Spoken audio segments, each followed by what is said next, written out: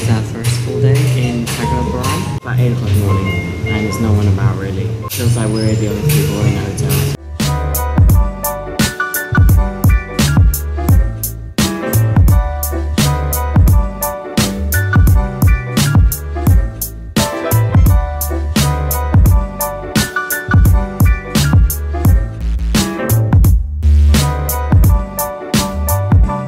So me and Jay just got off the bus and we're in Carmen, which is the area where the Chocolate Hills is.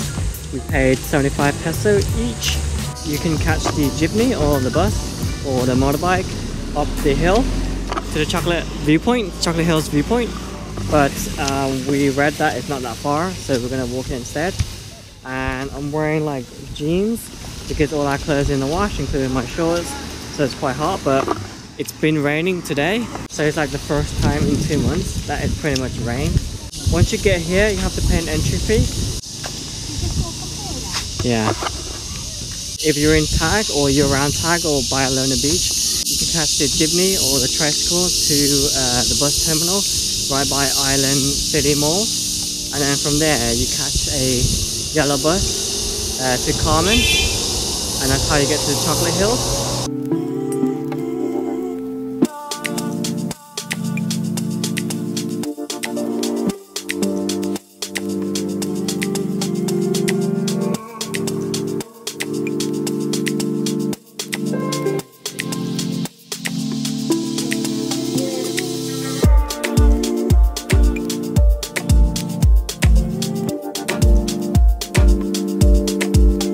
So we just reached the viewpoint.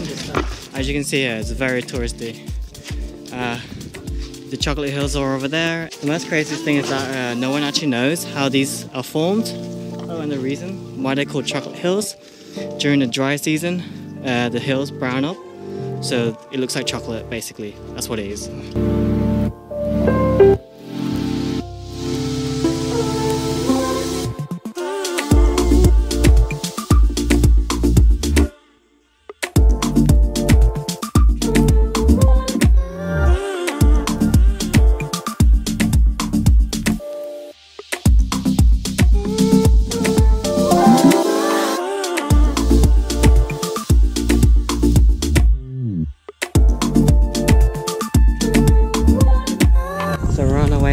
We were gonna eat at the restaurant next to the viewpoint, but it was really expensive and I don't think it's worth it. So we're gonna go to the bottom of the hill. There's a couple local restaurants down there.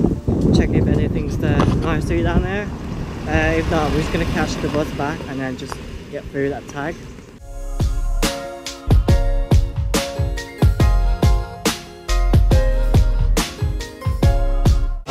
KFC and we're gonna just have a browse around the shop now. So for 45 peso, I've got myself a waffle with blueberry toppings. Enjoy some. Nice.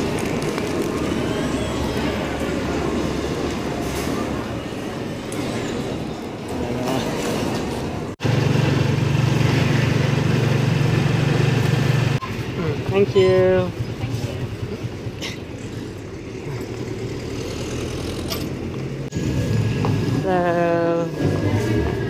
Just got back to our hotel room and Jay's got some like sweet pork bun kind of thing. It's just like a bun and then like toppings and then inside the pork.